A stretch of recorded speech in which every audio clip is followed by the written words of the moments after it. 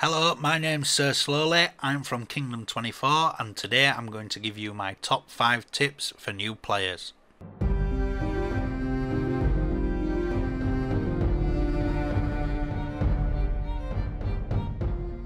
Tip number one, I'm going to talk about troops and how to maintain and look after them properly. Firstly, we're going to have a look at food here. As you can see, I've got zero food and my production is down, my hourly upkeep, should I say, is down to 1.2 million. So all my troops are going to die now. Not. They're not going to die at all. You do not need food to keep troops alive. This is one of the best features of this game. You don't need to worry about having thousands of farms and not being able to build anything else. It's a must in this game that people do not build hundreds of farms and waste valuable mines and resources that you could be collecting instead. So as you can see my hourly production there is only 33k but my total upkeep is only 1.2 million I would need to collect every hour just to keep my troops alive. I'm going to show you how many troops this account's got. It's not that many but it's a lot for a beginner. It's 411,000.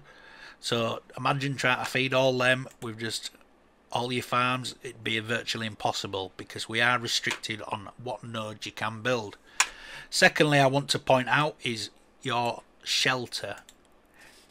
Now, depending on your castle level, this one is castle level 25, is how many troops you can shelter at once. Now, when you shelter your troops, it's always best to shelter your lord along with them, and he gives you an extra 5,000 there as you can see. Is that 50,000 5,000 so there we go. We can press that. We can hide that many in our shelter and they will be hidden for as long as you want. You can recall them whenever you want. It doesn't take a much. It doesn't cost anything. So that is how valuable sheltering your troops is. And with that I have troops remaining as you can see. I have 206k out so what I can do with them is then I can reinforce an ally or someone I know in the alliance. Now, for example, if I know an attack's coming, I could send it to someone with a bubble on. Here you can see a bubble next door to me. It's floor HH. I could then press reinforce and I can send whatever troops I want to reinforce him. Now, depending on his embassy level, is how many troops you can send, and he can take in his, his reinforcement. So you, there you can see he can reinforce. He can take 200k troops, which is all my troops covered pretty much. And if he's got troops on, he cannot be attacked. So all my troops are empty. And if I empty all my resources, send all my resources to him as well through transport, the person that attacks me gets nothing. Now as you can see we have a warehouse as well which protects resources. Here you can see our unprotected is zero. So if they attacked anyone attacked me now they would get zero st stone from me. And my capacity is 6.4 million. There you can see how much total items I have is 23 million. Now when I was talking about food you get tons and absolutely tons of food boosters. Don't worry about foods, only build one farm. That's all you need in this game because you get so many boosters in food that you don't need to worry about anything. All you need food for is this merchant ship and building upgrades. That's all food is used for. Please do not build farms or try to keep up with looking after your troops because they'll constantly be never fed. But before I go, I'm going to show you garrison. Now, it's very similar to reinforcing someone. You can garrison your troops at another castle. For example, if he's got a truce on floor HH has got, we can garrison our commanders as well. So we can collect all our commanders here and send all our troops but the bad side of this is if he doesn't have a truce on, they have to fight my troops before they attack the castle. so you, potentially you could lose troops doing that. If you press this button here you can see exactly what it says. And there you go. Hopefully this has been helpful.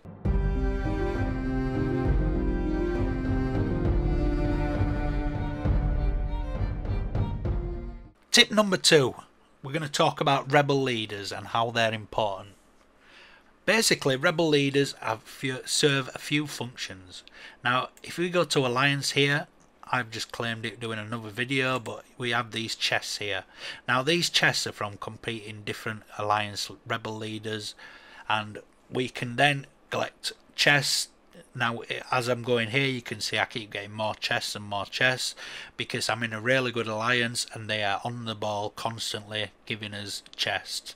Now what they do to get these chests is they go to click on world and then they can attack rebel leaders. Here you can see a level 4 they're on the horses. They're easy to spot there's another level 4 but we can search for them by clicking the search icon and clicking on them individually and searching for whatever level you are suitable for.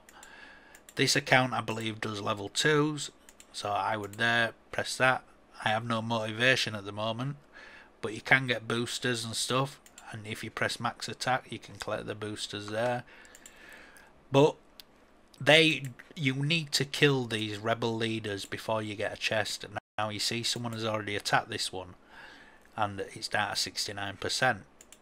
Ideally you do not want to leave rebel leaders unfinished. If you can, share it in your alliance by clicking this button here and going to alliance and clicking confirm and it will send it automatically to your alliance chat by clicking here and you see Ser Slowly has shared a rebel leader of level 2 and he's here. It automatically brings you there and shows you exactly where it is. So the more rebel leaders you attack, the more chests your alliance get. You can hold up to 300 alliance chests and then once you collect them, hopefully we'll get some good rewards. Here you can see 25k, 150. See what I was saying about the grain, loads of grain. Iron, stone. You get, you can get speed ups, you can get truces, you can get all sorts from these. I hope this has been helpful and we'll go to the next tip.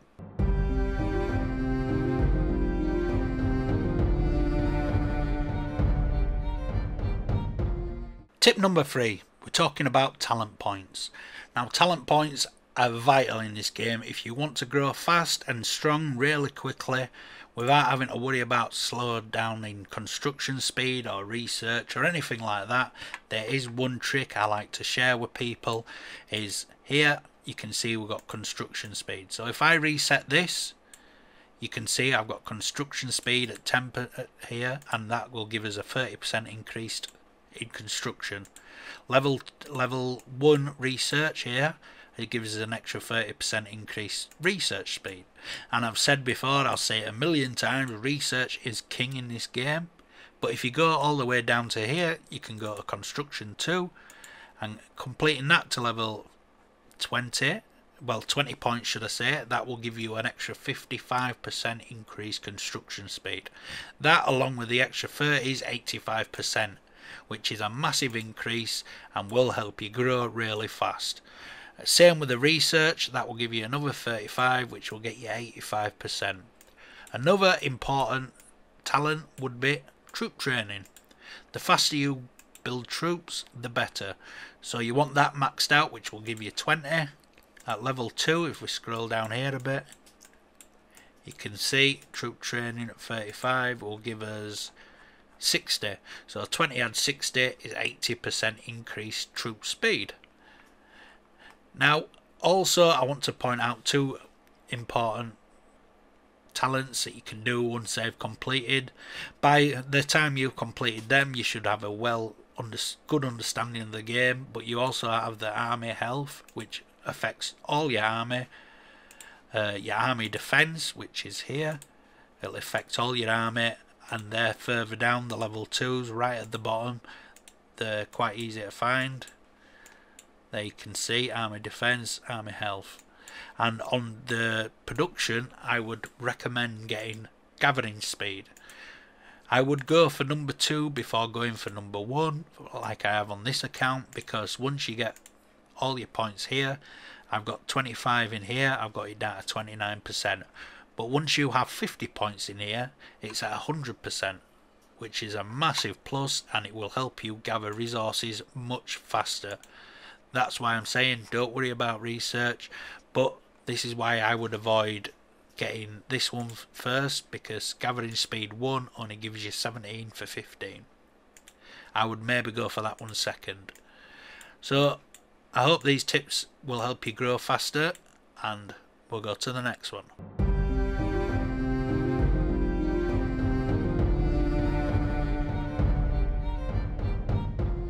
Tip number four, we're talking about commanders and how they can help you grow really fast depending on their rarity and their level. So first thing we'd need to do is look at our commanders. Here we can see we've got Robb Stark and Chris which are at level 6 and a rarity of purple. Sansa's at level 6 and blue but if we wanted to collect these and increase the rarity of the colour of the commander we need to collect medals. Now medals are a pain to collect but and vital in the game. Obviously you can't collect them too too fast otherwise the game would be over pretty quickly. And this game's all about building up. So how we'd collect them is we would need to go to the weirwood by going below here. Now if you want to unlock Sansa or Robb, for example you get this very early in the game. This is the elite tab here. This is your normal ones that you do normally and then you have the elite section.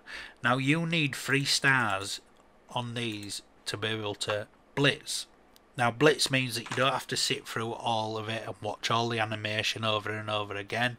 This means that you can press it once and that's the level complete. And there you get the medals which for Robb Stark. For example if I were collecting Sansa like there before I press that once. Blitz it four times maybe. There we go we got a Sansa medal for completing it. Now we should only need let's see how many we needed for Sansa. Still lots we need tons and tons of medals to get a purple. So if you want to increase the level rank of your commander if you click here you can see what happens when you increase it. That increases the number of troops your commander has and what items are required to level her up.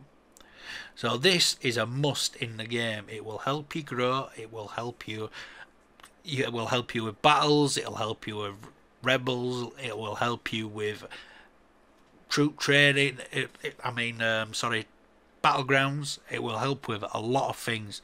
If you want to progress on the weirwoods and things like that you need to upgrade your commanders. For example I need one more item for to get Chris the rarity 7 so there we can click on there and click combine. We click on the armor piece that was required and it will show there that I can blitz that level because I have that at 3 stars. 6 6 we'll have a look where 6 6 is in the weirwood so we've got a common 6 6 is somewhere there so you can see I need the armor to upgrade Chris so you need three stars. You can't blitz if you have two stars. This is why I left this two stars. Because I wanted to show you. I have to go through the battle and beat it individually before I can blitz. I hope that's been helpful and it will help you level your commanders. I will make a separate video on it going into more detail.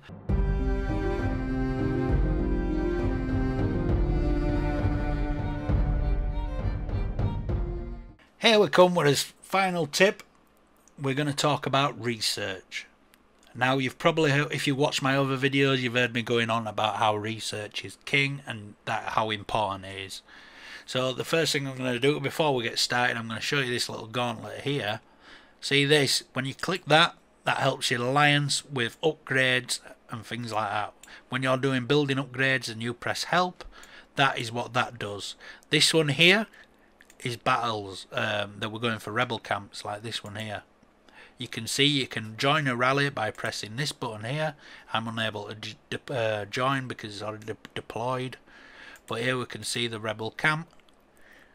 I believe this is a little one just to show it as an example. Yep, there we go. It's only a 4 million rebel camp. This is a power and there you can see how we do it. So now let's get to research. There were a few little bonus tips here. We'll click on here and we'll go to the Maester's Tower. Now here you can see all the different types. We've got production, city defence, military, expedition and pacification. And now these sections are advanced sections of these that can help improve different things. Advanced military will help you with your with your military.